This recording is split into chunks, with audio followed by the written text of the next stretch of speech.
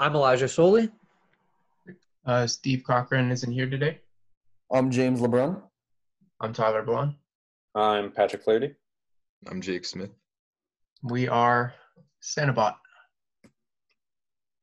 Right, so quick update. So originally our team project was Frozone, um, but we decided to switch over to um, developing a cleaning robot. Um, and the reasons being that there was a lack of consumer need for Frozone. So um, it was considered more to be um, of a luxury than a need. Um, the problem just wasn't big enough um, for us to make any money off of it. And in terms of uh, having no practical use for industry, so our main demographic was um, restaurants and food chains.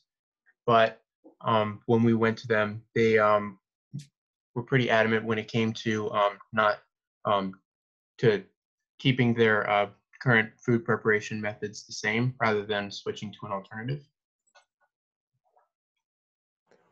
That leads us to our new problem. Um, as you can see from the picture, a lot of sidewalks tend to have litter just scattered everywhere. You can see that some of the um, concrete squares are a lot darker and dirtier than the a newer one. Um, this can cause uh, sewage smells in areas. Um, it can depreciate real estate value.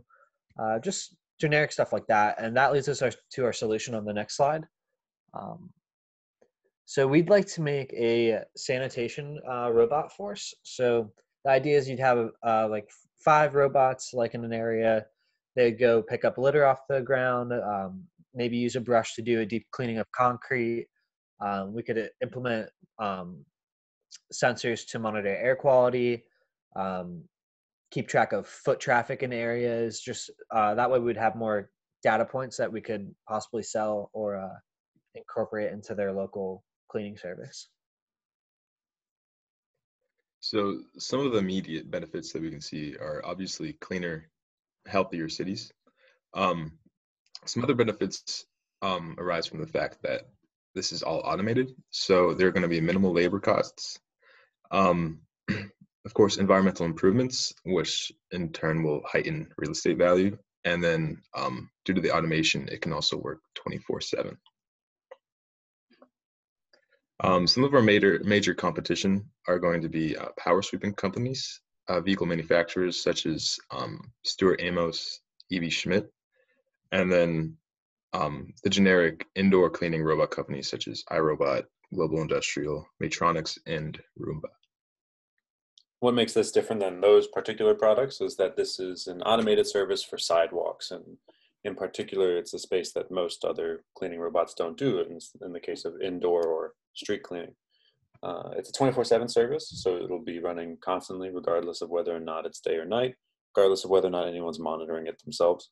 There's long-term savings at the reduction of the cost of paying for labor. Instead, you're just maintaining these robots or renting them. And then it's also more thorough since these robots wouldn't get bored or lazy. Uh, additionally, with the data collection of determining where places get most dirty or where there's most foot traffic, we can use that to sell to different investors or people with different interests, such as local businesses, to determine uh, more valuable things for them.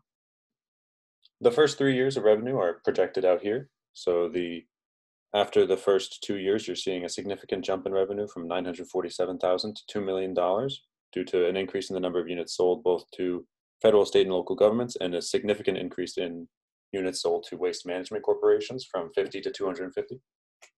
Uh, we project that more governments would be more interested earlier and with uh, an increased advertising through those government purchases, we can expand, expand to waste management corporations faster.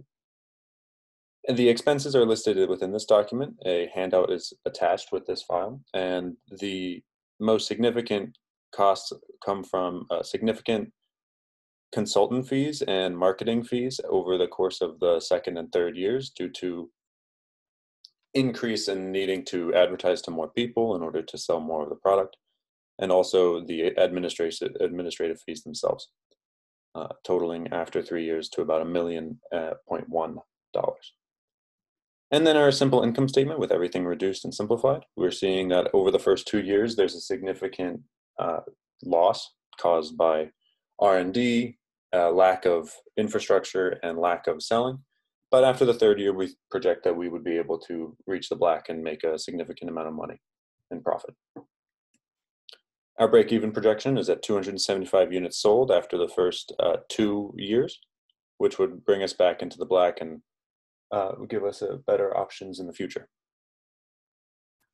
Overall, our main revenue will be coming from partners and investors. Our goal is to start uh, moving our products and getting them sold to various city or township administrations, as well as various waste management corporations.